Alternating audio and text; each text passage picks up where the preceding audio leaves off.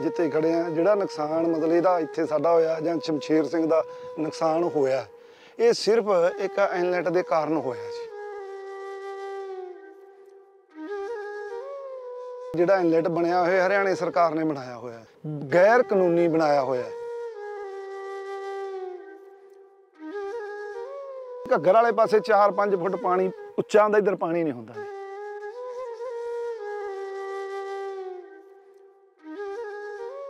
ਜੀ ਬੋਲਣ ਦਾ ਤੇ ਤਦ ਫਾਇਦਾ ਹੈ ਨਾ ਜੇ ਪਾਣੀ ਇਹ ਅੰਦਰ ਨੂੰ ਕੱਢਦਾ ਹੋਵੇ।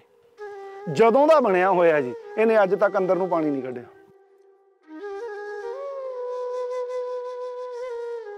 ਹੜ੍ਹ ਕਾਰਨ ਪੰਜਾਬ ਦੇ ਹੋਰਨਾਂ ਪਿੰਡਾਂ ਵਿੱਚ ਤਾਂ ਫਸਲਾਂ ਰੁੜੀਆਂ ਪਰ ਪਟਿਆਲਾ ਜ਼ਿਲ੍ਹੇ ਦੇ ਪਿੰਡ ਅਰਨੈਟੂ ਵਿਖੇ ਤਾਂ ਫਸਲਾਂ ਸਮੇਤ ਜ਼ਮੀਨਾਂ ਵੀ ਰੁੜ ਗਈਆਂ। ਪਿੰਡ ਵਾਸੀ ਇਸ ਦੀ ਵਜ੍ਹਾ ਘੱਗਰ ਦਰਿਆ ਉੱਤੇ ਬਣੇ ਇਸ ਐਨਲੈਟ ਨੂੰ ਦੱਸ ਰਹੇ ਨੇ।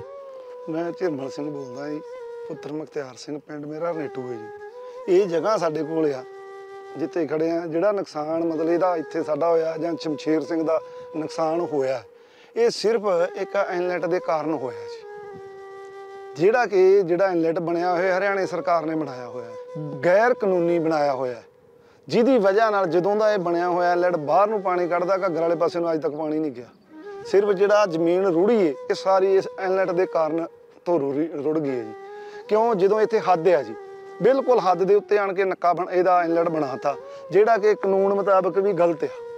ਕਿਉਂ? ਜਦੋਂ ਪਿੱਛੇ ਹਰਿਆਣੇ ਕੋਲ 199 ਕਨਾਲਾਂ, ਰਕਬਾ ਕਸੌਰ ਦਾ ਡਰੇਨ ਵਿਭਾਗ ਦਾ ਪਿਆ ਹੋਇਆ, ਜਿਹਦੇ 'ਚ ਕੋਈ ਰਿਕਵਾਇਰ ਨਹੀਂ ਕਰਨਾ ਕੁਝ ਨਹੀਂ ਕਰਨਾ, ਉੱਥੇ ਇੱਕ ਨਿਕਾਸੀ ਦਿੱਤੀ ਹੋਈ ਏ।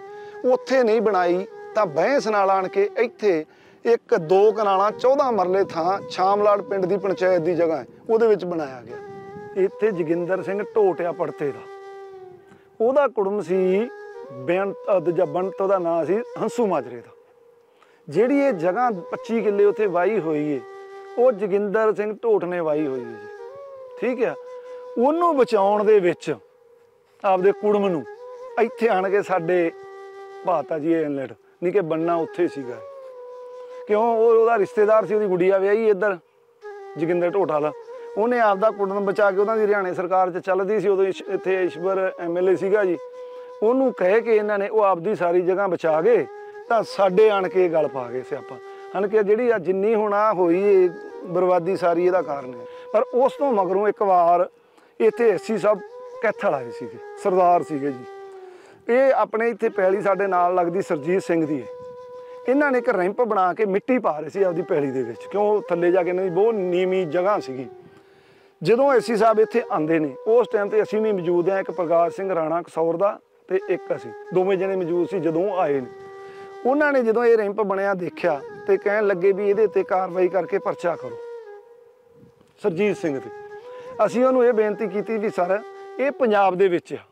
ਅਗਲੇ ਨੇ ਰੈਂਪ ਬਣਾਇਆ, ਕੋਈ ਬੰਨ ਨਹੀਂ ਵੱਢਿਆ। ਰੈਂਪ ਬਣਾ ਕੇ ਮਿੱਟੀ ਪਾਉਂਦਾ ਪਿਆ, ਵੇਖੋ ਦੋਨੇ ਪਾਸੇ ਜ਼ਮੀਨਾਂ ਨੇ ਤੇ ਰੈਂਪ ਤੇ ਵੇਖੋ ਇਹ ਖਾਸ ਹੀ ਗੱਲ ਹੈ ਆਪਾਂ ਨੂੰ ਹੁਣ ਵੇਲੋ ਬੰਨ ਵੱਜ ਗਿਆ, ਰੈਂਪ ਤਾਂ ਫਿਰ ਵੀ ਬਣਨਗੇ ਜੀ। ਕਿਉਂ ਜੇ ਕਿਸੇ ਨੇ ਟਰੈਕਟਰ ਤਾਰਨਾ ਹੈ, ਮਸ਼ੀਨ ਤਾਰਨੀ ਹੈ, ਤਾਂ ਫਸਲ ਲਿਜਾਣਾ ਚੜਾਉਣਾ ਲਾਉਣਾ ਵੀ ਇਹ ਰਿੰਪ ਤਾਂ ਬਣਨੇ ਨੇ ਜੀ। ਅੱਛਾ, ਇਹਨਾਂ ਨੇ ਰਿੰਪ ਬਣਾ ਕੇ ਮਿੱਟੀ ਪਾ ਰਹੇ ਸੀ। ਉਹ ਕਹਿੰਦੇ ਇੱਥੇ ਪਰਚਾ ਕਰੋ। ਅਸੀਂ ਕਿਹਾ ਸਾਰਾ ਆਹ ਦੇਖੋ ਜੀ, ਇੱਥੇ ਹੱਦ ਆ। ਉੱਤੇ ਹੱਦ ਦੇ ਆਣ ਕੇ ਇਨਲੈਟ ਬਣਾਤਾ ਠੀਕ ਆ?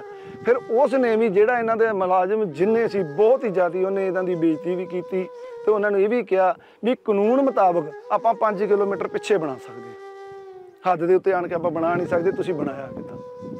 ਤੇ ਫਿਰ ਅਸੀਂ ਉਹਨਾਂ ਨੂੰ ਵੀ ਇਹੀ ਗੱਲ ਕਹੀ ਸੀ ਵੀ ਇਹ ਕੁੜਮ ਸਾਹਿਬ ਨੂੰ ਬਚਾਉਣ ਦੇ ਮਾਰਿਆਂ ਨੇ ਸਾਨੂੰ ਫਸਾਤਾ ਜੀ। ਕਿਉਂ? ਉੱਥੇ ਕੁੜਮ ਦੀ ਪੈਲੀ ਬਟਿਚਣੀ ਸੀ। ਕੁੜਮ ਦੀ ਪੈਲੀ ਬਚਾ ਕੇ ਸਾਨੂੰ ਫਸਾਤਾ। ਇਸ ਮਾਮਲੇ ਨੂੰ ਲੈ ਕੇ ਪਿੰਡ ਵਾਸੀਆਂ ਨੇ ਡਰੇਨ ਵਿਭਾਗ ਦੇ ਖਿਲਾਫ ਸ਼ਿਕਾਇਤ ਵੀ ਕੀਤੀ ਪਰ ਹਾਲੇ ਤੱਕ ਮਸਲੇ ਦਾ ਕੋਈ ਹੱਲ ਨਾ ਨਿਕਲਿਆ। ਅਸੀਂ ਡਰੇਨ ਵਿਭਾਗ ਦੇ ਖਿਲਾਫ ਕੀਤਾ ਸੀ। ਡਰੇਨ ਵਿਭਾਗ ਦੇ ਖਿਲਾਫ ਅਸੀਂ ਕੇਸ ਪਾਇਆ ਸੀਗਾ। ਉਹਦੇ ਵਿੱਚ ਕਿਉਂ ਅਸੀਂ ਪਾਰਟੀ ਡਰੇਨ ਵਿਭਾਗ ਨੂੰ ਬਣਾਇਆ ਸੀ? ਜਦੋਂ ਕਿ ਇਹ ਜਿਹੜਾ ਇਨਲੈਟ ਬਣਾਉਣਾ ਇਹ ਉਹਨਾਂ ਨੇ ਬਣਾਉਣਾ ਤਾਂ ਜ਼ਿਮੀਂਦਾਰ ਦਾ ਤੇ ਇੱਥੇ ਬਿਲਕੁਲ ਕੋਈ ਰੋਲ ਨਹੀਂ ਸੀ ਹੈਗਾ।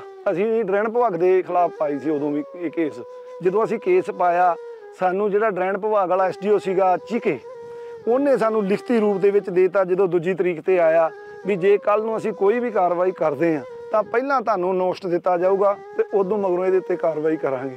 ਕਰਕੇ ਅਸੀਂ ਉਹ ਕੇਸ ਸਾਡਾ ਖਤਮ ਹੋ ਗਿਆ। ਉਦੋਂ ਮਗਰੋਂ ਚਲੋ ਡਰੇਨ ਵਿਭਾਗ ਨੇ ਕੋਈ ਕਾਰਵਾਈ ਨਹੀਂ ਕੀਤੀ, ਜਦੋਂ ਕਿ ਐਲਰਟ ਤਾਂ ਬਣ ਗਿਆ ਕੇਰਾ। ਹੁਣ ਮਗਰੋਂ ਪੱਟਿਆ ਦਾ ਗਿਆ ਨਹੀਂ। ਠੀਕ ਹੈ ਨਾ ਜੀ? ਉਹ ਉਦੋਂ ਦਾ ਇਸੇ ਤਰ੍ਹਾਂ ਹੀ ਪਿੰਡ ਪਿਆ ਹੋਇਆ, ਪਰ ਜਦੋਂ ਇਹ ਘੱਗਰ ਚੜਦਾ ਦਰਿਆ ਚੜਦਾ ਉਦੋਂ ਮਗਰੋਂ ਜਿਹੜੇ ਅਗਲੇ ਪਿੰਡਾਂ ਵਾਲੇ ਨੇ, ਜਾ ਕੇ ਡੀਸੀ ਸਾਹਿਬ ਕੋਲ ਐਸਡੀਐਮ ਸਾਹਿਬ ਕੋਲ, ਗੁੱਲੇ ਕੋਲ ਰੋਲਾ ਪਾਉਂਦੇ ਨੇ। ਉਹਨਾਂ ਦੇ ਉਦੋਂ ਅਧਿਕਾਰੀ ਆਉਂਦੇ ਨੇ ਇੱਥੇ। ਜਦੋਂ ਕਿ ਆਣ ਕੇ ਦੇਖਦੇ ਨੇ ਘੱਗਰ ਵਾਲੇ ਪਾਸੇ 4-5 ਫੁੱਟ ਪਾਣੀ, ਉੱਚਾ ਹੁੰਦਾ ਇੱਧਰ ਪਾਣੀ ਨਹੀਂ ਹੁੰਦਾ। ਕਿਉਂ? ਲੋਕ ਕਹਿੰਦੇ ਵੀ ਇਹਦਾ ਖੋਲ ਦੋ। ਖੋਲਣ ਦਾ ਤੇ ਤਦ ਫਾਇਦਾ ਹੈ ਨਾ, ਜੇ ਪਾਣੀ ਇਹ ਅੰਦਰ ਨੂੰ ਕੱਢਦਾ ਹੋਵੇ। ਜਦੋਂ ਦਾ ਬਣਿਆ ਹੋਇਆ ਜੀ, ਇਹਨੇ ਅੱਜ ਤੱਕ ਅੰਦਰ ਨੂੰ ਪਾਣੀ ਨਹੀਂ ਕੱਢਿਆ। ਬਾਹਰ ਨੂੰ ਕੱਢਦਾ, ਜਦੋਂ ਵੀ ਨੁਕਸਾਨ ਕਰਦਾ, ਬਾਹਰ ਨੂੰ ਕਰਦਾ। ਹੰਸੂ ਮਾਜਰੇ ਤੋਂ ਲੈ ਕੇ ਡਰੇਨ ਚੱਲਦੀ ਏ, ਜਿਹੜੀ ਇਹ ਪਾਣੀ ਦੀ ਨਿਕਾਸੀ ਹੈ ਜਿਹੜੀ ਪਿੱਛੇ 199 ਕਰਾਣਾ ਕਸੌਰ ਦਾ ਰਕਬਾ ਪਿਆ ਜੀ। ਉਹਦੇ ਵਿੱਚ ਹੰਸੂ ਮਾਜਰੇ ਦੀ ਜ਼ਮੀਨ ਹੈ ਜੀ, ਭਾਗੋ ਮਾਜਰੀ ਪੰਜਾਬ ਦੀ ਜ਼ਮੀਨ ਹੈ ਜੀ, ਔਜਾਂ ਪੰਜਾਬ ਜਾ ਗਿਆ, ਪੰਜਾਬ ਦੀ ਜ਼ਮੀਨ ਹੈ ਜੀ, ਪੜਤੇ ਦੀ ਜ਼ਮੀਨ ਹੈ ਜਿਹਦੇ ਵਿੱਚ ਪੂਰਾ ਅੱਧਾ ਦਾ ਕਿੱਲਾ ਇਹ ਨਿਕਾਸੀ ਏ ਆਪਣੇ ਇਸਤੇਮਾਲ ਦੇ ਵਿੱਚੋਂ ਕੱਟੀ ਹੋਈ। ਜੇ ਉਹ ਨਿਕਾਸੀ ਚਾਲੂ ਹੋ ਜਾਂਦੀ ਹੈ, ਤੇ ਜਿਹੜਾ ਸਾਡੇ ਪਿੰਡ ਦਾ ਜਾਂ ਲਾਣੇ ਦਾ ਚਿੱਚੜ ਵਾਲੇ ਦਾ ਅੱਗੇ ਨੁਕਸਾਨ ਹੁੰਦਾ ਹੈ, ਇਹ ਕਦੇ ਇੰਨਾ ਨੁਕਸਾਨ ਨਹੀਂ ਹੋਏਗਾ ਜੀ। ਕਿਉਂ? ਜਦੋਂ ਮੀਂਹ 'ਚ ਬਰਸਾਤਾਂ ਪੈਂਦੀਆਂ ਨੇ, ਬਰਸਾਤਾਂ ਦੇ ਕਾਰਨ ਵੀ ਸਾਡੇ ਆਣ ਕੇ ਪਿੰਡ ਨੂੰ ਮਾਰ ਪੈਂਦੀ ਏ ਉਹ ਡਰੇਨ ਲੋਕਾਂ ਨੇ ਵਾਹੀ ਹੋਈ ਏ। ਲੋਕਾਂ ਦੇ ਵਾਹੁਣ ਦੇ ਨਾਲ ਸਾਡਾ ਨੁਕਸਾਨ ਜ਼ਿਆਦਾ ਹੁੰਦਾ ਹੈ ਜੀ।